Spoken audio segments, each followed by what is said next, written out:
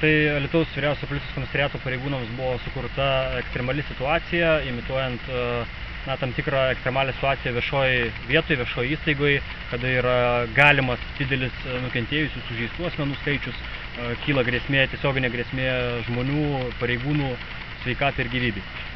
Reiškia, ir paband, buvo pabandyta užtverti, uždaryti objektą, uždaryti vadinamosius perimetrus, prieimus prie objekto, išėjimus iš objekto ir juos kontroliuoti, siekiant suvaldyti, sakysim, tokią ekstremalią situaciją, kada kyla būtent viešoje vietoje, kada kyla panika ir panašiai. Kokių veiksmų teko imtis pareigūnams, kokius pademonstravo? Tai šiuo atveju, kadangi buvo sumituota situacija, kad galimai yra įtariamasis na, po tam tikros veikos įsiveržęs galbūt į patalpas, įėjęs į patalpas, tai teko imituoti šaunamųjų ginklų parengimą naudojimui, neperšaunamų priemonių turimų, sakysim, apsaugos, tai tiek neperšaunamas liemenes, šalmus ir panašiai. Kolegos.